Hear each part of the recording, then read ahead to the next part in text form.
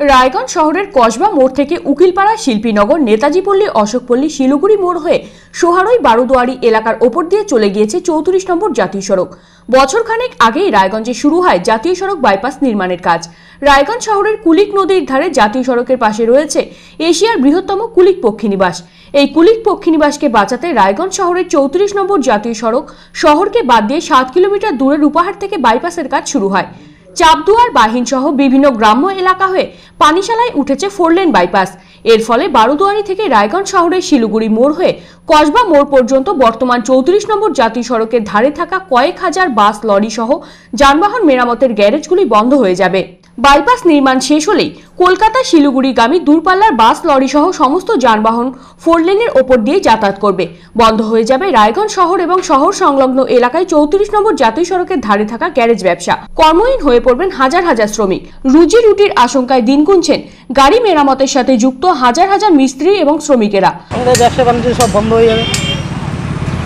এমনি তো ব্যবসা নাই লকডাউন তারপরে ওদিক বাইপাস হয়ে গেলে সব গ্যারেজ তো ওদিক দিয়ে হয়ে যাচ্ছে। আমাদের এখন সময় খেয়ে যাবে ব্যবসা এখন দূরে দূরে গিয়ে করতে হবে যেমন বাড়ির সামনে করতেছিলাম এখন দূরে দূরে গিয়ে পানি চালা টানি চালা এগুলো একটা জায়গায় করতে হবে। তাতে ব্যবসা এদিকে আর কিছু থাকবে না? সবারই সমস্যা হয়ে যাবে। সমস্যা হচ্ছে তো আমাদের এখন বাইপাস লাইনে ওই দিক থেকে সব গাড়িগুলো চলবে। হ্যাঁ আমাদের তো এদিক থেকে আর চলবে না এটা মানে এটা বন্ধ বন্ধই ধরা ধরা গেল।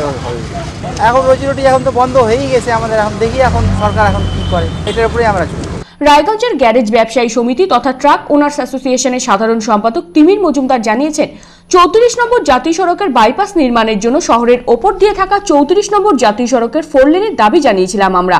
কিন্তু কুলিক পক্ষীনিবাস বাঁচানোর কারণ দেখিয়ে রূপাহাট থেকে গ্রামাঞ্চল এলাকার ওপর দিয়ে ফোরলেন বাইপাস করেছে জাতীয় সড়ক কর্তৃপক্ষ।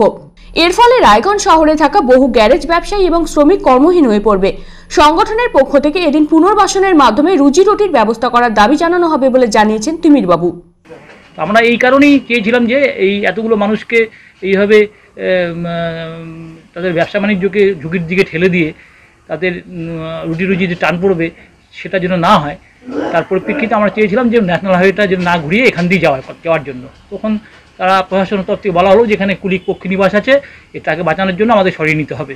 আমরা তখন বলেছিলাম যে আমাদের এখানে বিকল্প এই যে ব্যবস্থা করা করা হোক, যাতে আমরা অন্য জায়গায় এদেরকে ব্যবস্থা করে দেওয়া যায়, বিকল্প। কিন্তু আজ অবধি সেটার কোনো কিছু ঘটেনি। আমরা নিদারুণ কষ্টের মধ্যে আছি। আগামী দিনে না হয়ে যখন ঘুরে গিয়ে ফললে নদীর দিয়ে হবে, আমাদের পরিস্থিতি আরও ভয়ানক অবস্থা দাঁড়াবে।